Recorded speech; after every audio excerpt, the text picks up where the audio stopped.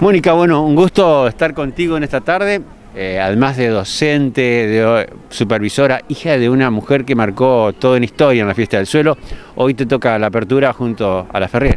Sí, ¿cómo estás Sergio? Sí, estamos acá en la aldea, en mi pueblo, iniciando este ciclo de charlas con la comunidad de la aldea y con los estudiantes sobre todo. Y muy, una linda sorpresa ver muchas escuelas. Muchas escuelas de la zona eh, que después son parte de la fiesta. Y claro, claro que sí. Así que venimos con, expectativa de compartir con, los estudiantes de secundaria lo que venimos a, disertar.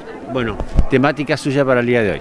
Y bueno, la temática nuestra tiene que ver el, título, la economía eh, para la vida eh, frente a esta crisis civilizatoria.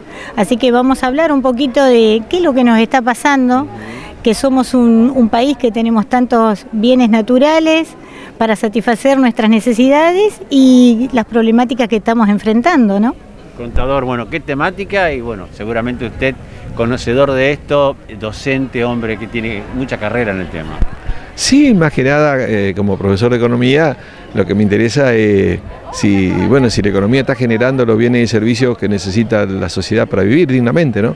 Y lo que estamos viendo con, mucha preocupación, ya desde el principio del siglo, que cada vez estamos más alejados de ese fin de la economía, que es como, logramos que, la gente viva dignamente y sin afectar eh, el ambiente, que es la base material que nosotros eh, utilizamos y que van a utilizar las futuras generaciones. Entonces que de pronto se trate este tema, eh, me parece tan importante que ojalá estuviera tratando en todos lados, nos parece bárbaro.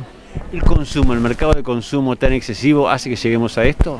Sí, sí, sí, es como una cadena, ¿no es cierto? Hay un sistema que, necesita que haya crecimiento, crecimiento, crecimiento, eh, y ganancia, ganancia, ganancia, y para que haya crecimiento también, además de más producción, tiene que haber más consumo.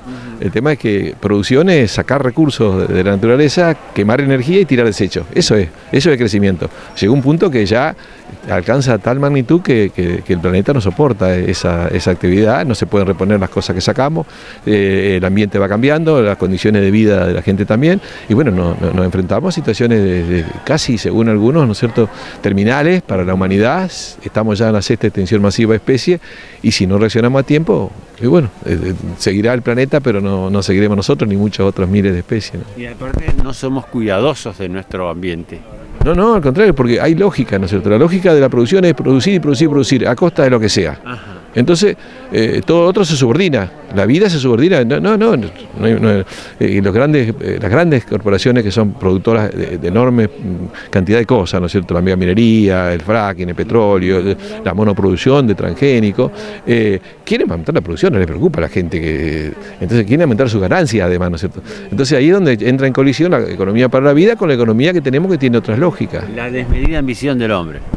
Sí, en este orden social, porque se puede ser, el hombre también puede ser muy solidario, en otras reglas de juego, en otras formas de organización, puede ser cooperativo, solidario.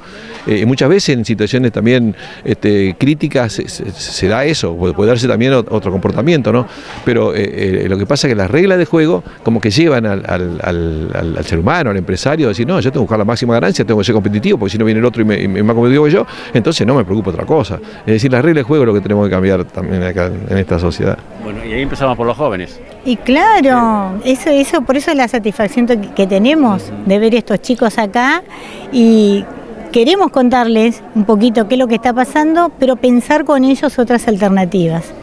Eh, por eso hablamos de que queremos construir un mundo mejor, un mundo nuevo, totalmente diferente a esto al, que, al que vamos, que está colapsando, que está, que está mal, y pensar con los chicos, con los que les queda muchos años por delante todavía. Bueno, no nos roba más tiempo, porque ya estamos a horario de comenzar y hay que ser puntuales. Ellos han sido puntuales, ustedes también tienen que ser puntuales. Sí, por supuesto. Gracias, Sergio, por, por estar acá presente y bueno, ojalá pueda seguir acompañando a la comunidad del Día Santa María en el resto de los eventos que están programados. Estamos en eso, siempre nos acercamos a la aldea porque es una comunidad que tiene buenos intereses y buenos objetivos. Bueno, muchas gracias, Sergio. Contador, un gusto verlo conocido. No, igualmente gracias porque eh, es un gusto también saber que hay medios de comunicación que no son los grandes medios que se mueven sobre ese, que, que, se interesan por este tema. Ojalá, bueno, ojalá fuera así, este, esto fuera una onda mayoritaria, ¿no? que sí. Gracias. Gracias a vos.